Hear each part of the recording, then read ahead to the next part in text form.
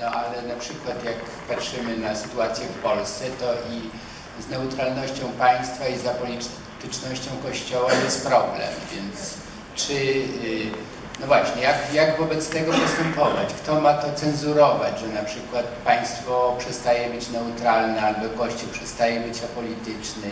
Jak sobie taki szary obywatel jak ja ma z taką sytuacją radzić? Po pierwsze, to nie mówi szary obywatel,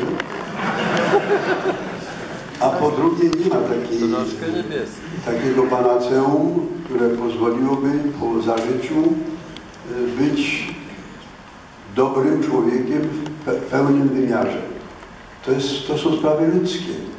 My się możemy, jeżeli będziemy się trzymać, będziemy się y, starać być ludźmi na, na wysokim poziomie, to się dogadamy. Ale jeżeli będziemy chcieli zawsze przepchnąć swoje zdanie, no to już jest kłopot. I nigdy, nigdy nie będzie dobrze, aż do sądu ostatecznego. Bo to jest, natura ludzka jest skażona. I widzimy, ja to widzę po sobie. Jak ktoś nie widzi tego u siebie, no to może się usprawiedliwiać, że robiąc źle, usprawiedliwia to. Nie, to nie jest zło. To jest straszny pesymizm, zwłaszcza, że... no, dzisiaj wyczytałem, że któraś tam z celebrytek powiedziała, że największym kłopotem dla mnie jest to, nie, najlepiej czuję się wtedy, kiedy nie ma zasad. Ja, ja się opowiadam za taką opinią, że lepiej jest nie słuchać żadnych zasad. Taki, taki sens tego. Są, ludzie, którzy mają tak bujną wyobraźnię i, i, i przekonanie, że to jest słuszne i postępują w taki sposób. Ale z... ja się nawet muszę powiedzieć, że dziwię się, że oceniamy e, pewne rzeczy, które regulują e, życie społeczne, a równocześnie Przepraszam, zgubiłem się. Zgubiłem się. Chodzi mi o to, żeby, no, no, i- jeżeli jest na przykład konstytucja i ktoś mówi, no, mnie się to nie podoba i narusza tę konstytucję, to pójdzie do więzienia, przynajmniej powinien iść. Na razie nie.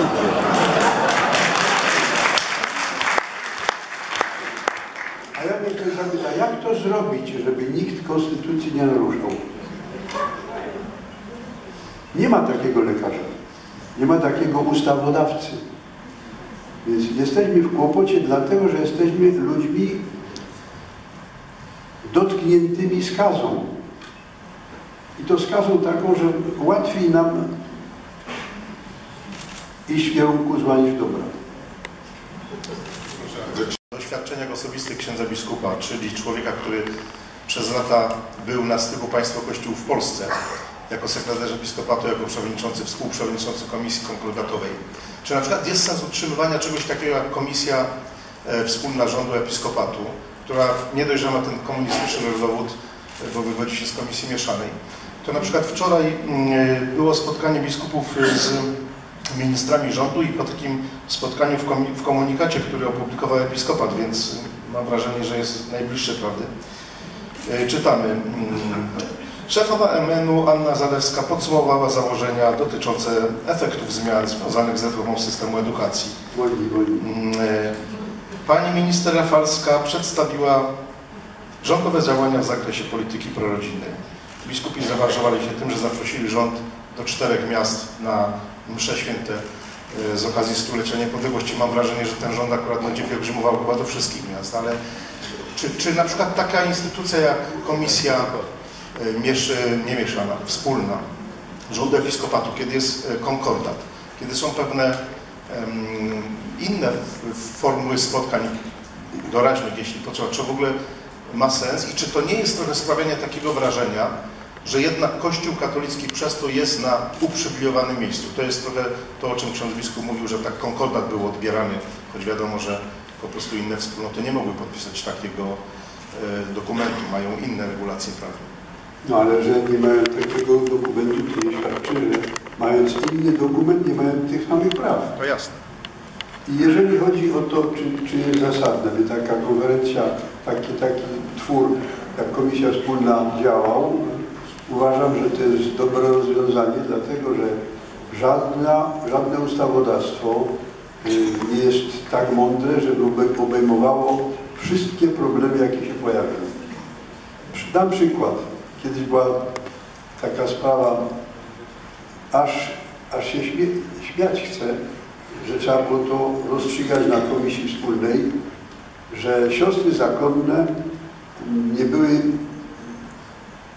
zaraz, miały zakaz ściągać te swoje welony, bo w paszporcie musiało być ucho. No, no śmiesznostka, no, w końcu się zgodzili, że nie, no ale... A jest, były takie inne sprawy bardzo poważne, takie, że na przykład e, sądy kościelne, które rozstrzygają bardzo często sprawy małżeńskie, no, pe, przepraszam, w pewnych kwestiach chcą sięgnąć do dokumentacji medycznej, zwłaszcza psychiatrów i tak dalej, bo to jest ważne dla określenia ważności czy nieważności małżeństwa. Zakaz, nie wolno tego ujawniać nikomu.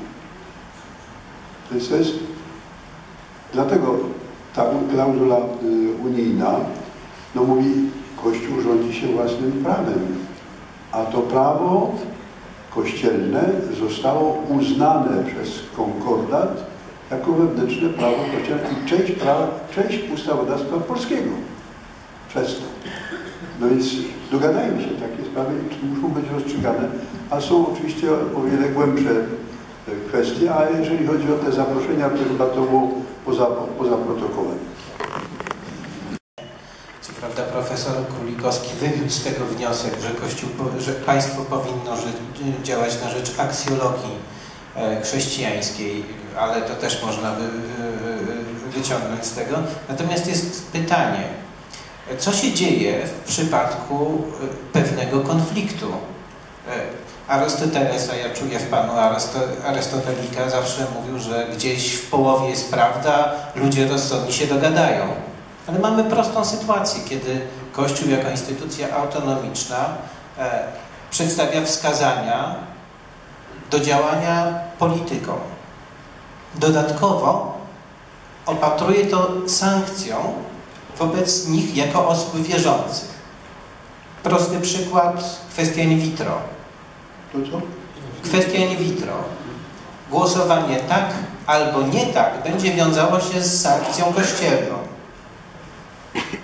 Jest to konflikt między racjami państwa i racją polityka głosującego e, zgodnie z własnym sumieniem, a pewnym e, narzuconym mu wskazaniem przez instytucję kościelną, jak pan powiedział, jak ksiądz powiedział, działającą według swojego porządku.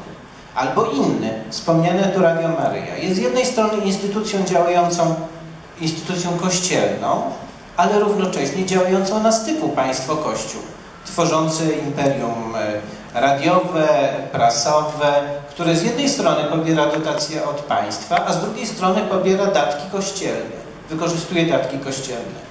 No, no jak to rozsądzić? Czy tylko w kwestii sumie, we własnym sumieniu i liczyć na ludzkie dobro, ludzki rozsądek, e, e, e, albo wszelakie nadużycia w tej kwestii tylko usprawiedliwić skłonnością do grzechu? Proszę Pana, oczywiście, że jeżeli chodzi o odpolitycznienie działania episkopatu, to one powinny polegać na tym, że jeżeli ma, jeżeli chce chronić pewne zasady, to zwraca się z tym jako z, ze słowem Ewangelii. Odwołuje się do sumienia. Jeżeli episkopat nie jest parlamentem, parlament nie jest episkopatem. I dlatego na przykład nawoływanie biskupów do takiej czy innej, do takiego czy innego głosowania jest nadużyciem.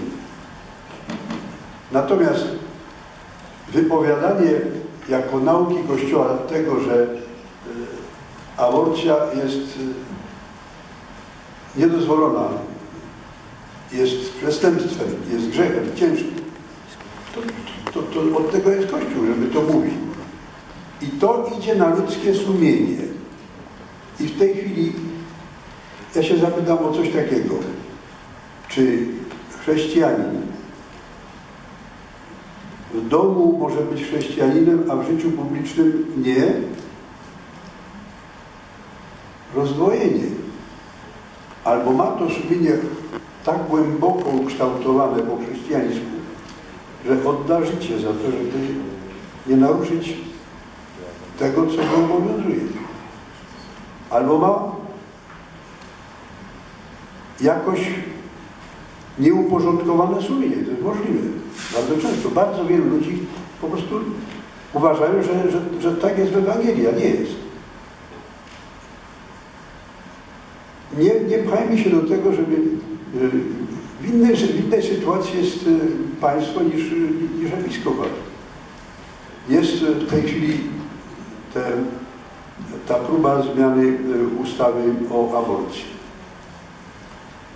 No trzeba się najpierw zastanowić dobrze, czy ta sprawa ma jakiekolwiek racje, jakiekolwiek szanse. Oczywiście dla Kościoła zakaz aborcji jest bardzo ważny, ale zakaz ten istnieje. Nie zabijaj. Jeżeli parlament powie wolno, to z tego nie wynika, że chrześcijanin może zabić. Jak ktoś mówi, no przecież państwo mówi tak, wolno.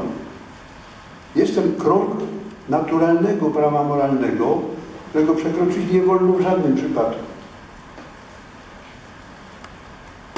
A, a, a to, że ludzie to robią nagminnie, no to jest znów odpowiadam tak jak Panu przecież przedtem inna jest zasada, a inne postępowanie.